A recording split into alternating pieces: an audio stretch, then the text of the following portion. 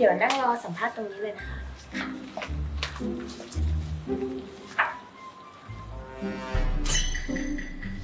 สวัสดีค่ะ น้ามาสัมภาษณ์งานที่นี่เหรอคะ โอ้ใช่จ้ะ แล้วนี่น้ามาสมัครตำแหน่งอะไรเหรอคะ ตำแหน่งคนเลี้ยงวัวเหรอคะ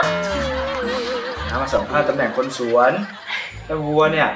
น้าเอามาด้วยเป็นตุ๊กตานำโชคของน้า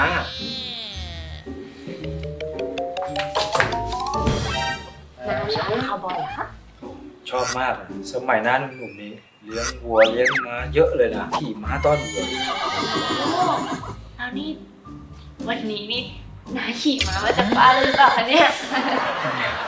ขี่มาจากบ้านเลยแต่ลากไว้หน้าออฟฟิศกำลังกินหญ้าอยู่เลยสองตัว ไม่ใช่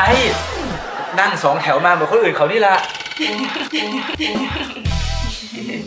จะจะคุยกันไม่ค่อยรู้เรื่องเลย แต่จะเรียกอีกที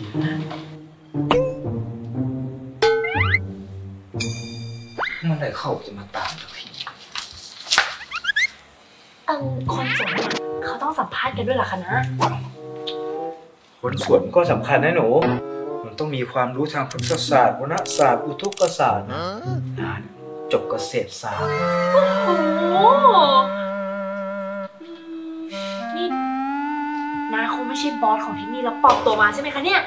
พูดไม่คิดดูสภาพนะบอสตรงไหนเนี่ย เป็นบอสจะปลอมตัวมาทำไมให้มันยุ่งยาก ก็นั่งทำงานมันสบายๆดิไอ้หนูนี่ถามจู้จี้จุกจิกแล้วนะนะถึงคิวสัมภาษณ์แล้วค่ะ ครับครับนะคะเดี๋ยวค่ะนะเดี๋ยวหนูค่อยกลับมาคุยกันใหม่นะ เออคือนะลืมกลัวค่ะ อ๋อไม่ได้ไม่ได้ของสำคัญ วนะเพื่อนๆอย่าลืมกด subscribe แล้วก็กดกระดิ่ง ติ๊งติ๊งติ๊งติ๊งที่ช่อง Super Idol Studios ด้วยนะคะ